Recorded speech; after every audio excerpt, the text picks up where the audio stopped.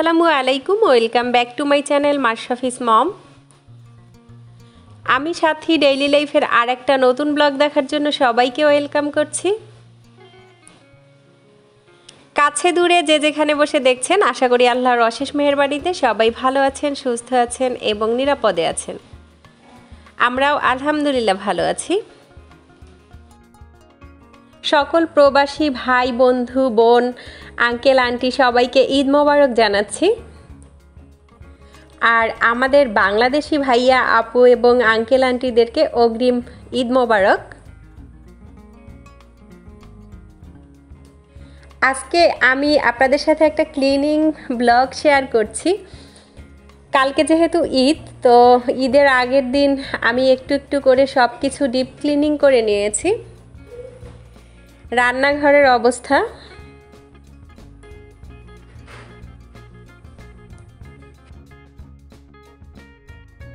প্রতি সপ্তাহে বা পনেরো দিন পর পর ডিপ ক্লিনিং করা হয়। বিশেষ করে রান্নাঘরে রান্নাঘরে একদম তেল চিটচিটে হয়ে যায়। কিন্তু প্রতি ঈদের আগে পুরো বাসাটাই আমি ডিপ ক্লিনিং করি। প্রতিবার তো তেমন একটা কষ্ট হয় না, এবার বেশ কষ্ট হয়েছে। অল্প একটু একটু করে করতে হয়েছে।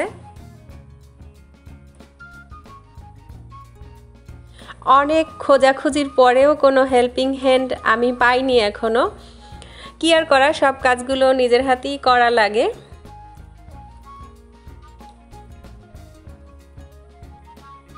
সব কিছু প্রতিদিন ক্লিন করা হয়, যেমন চুলাটা প্রতিদিন ক্লিন করা হয়, তারপরও আজকে সব কিছু এলোমেলো হয়েছে, চুলাটা বেশি নোংরা হয়েছে।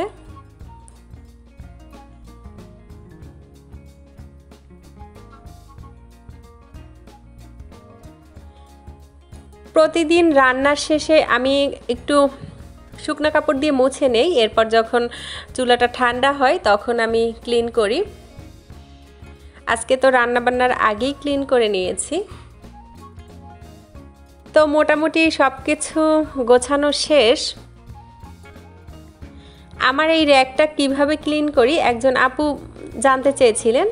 এটাকে আমি বাথরুমের মধ্যে ঢুকিয়ে গুঁড়া সাবান দিয়ে ঘষে ঘষে ক্লিন করেছি। কারণ এটা ক্লিন করা বাহিরে বসে সম্ভব না। কারণ, ছোট ছোট জায়গা থাকে যেগুলো হাত দিয়ে ক্লিন করা যায় না। ব্রাশ দিয়ে ঘষে ঘষে ক্লিন করে নিয়েছি। আর একজন আপু বলেছিলেন, আমার টেবিল ক্লথগুলো এত সাদা থাকে কীভাবে? আসলে আমি টেবিল ক্লথের নিচে একটা সাদা মোটা কাপড় দিয়ে নেই, যে কারণে টেবিল ক্লথটা বেশি সাদা দেখায়। এবার ইচ্ছে ছিল সব কিছু অনেক সুন্দর করে ডেকোরেশন করব, কিন্তু কি আর করা? পারিনি।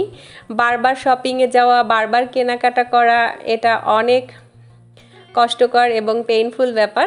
তো হাতের কাছে যা ছিল তা দিয়েই একটু গুছিয়ে নিয়েছি সব কিছু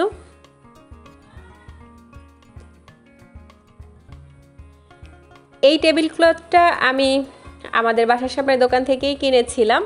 আর সাদা কালারটা আমার বরাবরই ভালো লাগে। তবে বেডশিটের ক্ষেত্রে আমি মেনটেন করতে পারি না, আপনাদের ভাইয়া সবসময় নোংরা করে রাখে।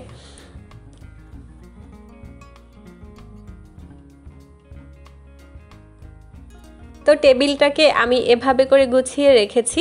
আসলে এভাবেই থাকে সব সময় এক্সট্রা করে শুধু ফুলের টপটা অ্যাড করেছি। বাকি জিনিসগুলো এখানেই থাকে। আর এই যে কর্নার যে সেলফটা এটা আমি ড্রিল করার কারণে হ্যাঙ্গিং করতে পারিনি। তাই টি টেবিলের উপরে এভাবেই রেখে দিয়েছি।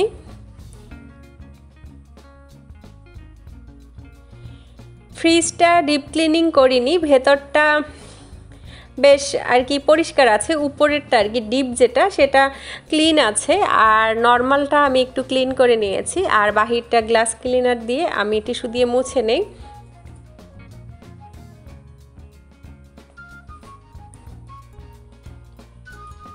তো আমি সব ফার্নিচারগুলো এক সাইডে এরকমের সোজা বরাবর রেখেছি। আর ডাইনিংয়ের এই পাশের স্পেসটা খালি রেখেছি। ঈদের সময় সোফা কেনার ইচ্ছে আছে। তো আগেই জায়গাটা করে রেখেছি। ড্রিল করানোর জন্য টিভিও এখনও আমরা ওয়ালে সেট করিনি। তাছাড়াও টিভি আমাদের বাসায় তেমন একটা দেখা হয় না। আর এদিকে আপনাদের ভাইয়া টুকটাক বাজারও এনেছে। আসলে অত বেশি রান্নাবান্না এবছর হয়তো বা পারব না, তারপরও যতটুকু পারি। দেশে থেকেও প্রবাসের মতো আমরা তিনটা বছর কাটিয়ে দিলাম, বাড়ি যেতে পারিনি। গত দুই বছর তো লকডাউনের কারণে যেতে পারিনি। আর এবছর তো আমাকে নিয়ে জার্নি করার সাহস আপনাদের ভাইয়া করেনি। আর আমার আম্মু বলেছে যে রিক্স নিয়ে আসার দরকার নেই।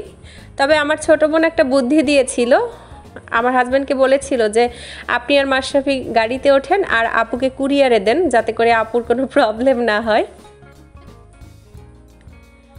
তো এদিকে আমার প্রতিবেশী আমাকে কিছু পিঠা গিফট করেছে। এর আগে তো আমাদের একটা প্রতিবেশী ছিল হিন্দু আর এখন দুইটা প্রতিবেশী হয়েছে, যাদের সাথে মোটামুটি ভালোই আমার বন্ডিং হয়ে গিয়েছে। তো ওনারা আমাকে পিঠা গিফট করেছে। এই পিঠাটা এখানে ঈদের সময় খুব খায় সেমাইয়ের সাথে। এখানে এই পিঠাটাকে আইলাকেশি বলে, কিন্তু আমাদের বরিশালে এই পিঠাকে ফুলজুরি পিঠা বলা হয়। আর এদিকে আপনাদের ভাইয়ার পেছনে আমি প্রায় এক মাস পর্যন্ত ঘুরতেছি এই বার্নিশটা ফার্নিচারে লাগিয়ে দেওয়ার জন্য।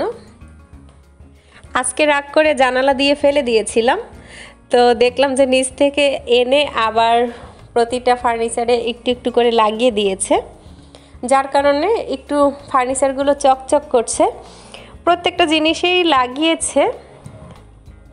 একটু সময় নিয়ে দুইবার করে লাগালে আরও চকচকে হতো, কিন্তু সেটা করেনি, একবার করেই লাগিয়ে দিয়েছে। এরপরে আমি স্যাবলন পানি দিয়ে বসে বসে ফ্লোরটা ক্লিন করব। তো এতেই মোটামুটি কাজগুলো শেষ। তবে সকাল থেকে কাজ শুরু করেছি এবং আছরের নামাজের অনেক পরে আমি গোসল করে নামাজ পড়ে নিয়েছি। সারা দিন কাজের উপরে ছিলাম, এরপরে ইফতারি বানানোর একদমই সময় পাইনি, তাই শর্টকাট ইফতারি বানিয়ে নিয়েছি। এখানে কিশমিশ কয়েক ধরনের বাদাম, লেবুর শরবত এবং বেলের শরবত, সাথে একটু মালটা কেটে নিয়েছি। এত পরিমাণ বেশি কাজ করেছি যে আজকে এই হালকা ইফতারিতে আমার কিছুই হবে না। তাই ভাবলাম যে এতটুকু খেয়ে আমি নামাজ পড়ে তারপর ভাত খেয়ে নিব।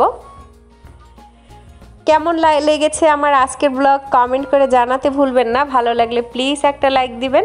চ্যানেলে নিউ হয়ে থাকলে আমার চ্যানেলটি সাবস্ক্রাইব করে বেল বাটনটি ক্লিক করে অল অপশনটি সিলেক্ট করে দিবেন। আল্লাহ হাফেজ।